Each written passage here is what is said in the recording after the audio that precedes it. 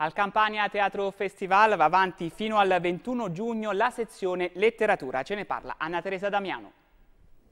Laggiù, nelle foreste della notte, c'è la tigre di Blake che brucia e splende. Baudelaire diceva laggiù è tutto calma, voluttà, luce, no? Naturalmente non è sempre così, ci sono andirivieni delle possibilità, ma noi insomma interpretiamo il laggiù come il desiderio di raggiungere qualche cosa che ci sfugge. La parola guida del 2021 è laggiù per la sezione letteratura del Campania Teatro Festival che fino al 21 giugno ci accompagnerà tra le grandi voci della poesia contemporanea da Louis Gluck a Sandro Penna. Purgatorio, infierno, carcere, bordello.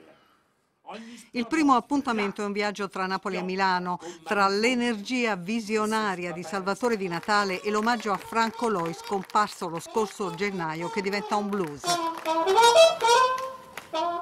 Nell'era dei social e dell'effimero è il poeta Giuseppe Conte, nato a Imperia ma con un forte legame con Napoli dove pubblicò la sua prima raccolta, a ricordarci che i versi non hanno paura dei tempi, anche in tempi che sembrano ripudiarli. La poesia è una forma di eh, resistenza spirituale rispetto ai tempi, è la domanda profonda che l'uomo fa al, al proprio essere, al proprio destino umano, ma anche al, al destino proprio di abitanti del pianeta.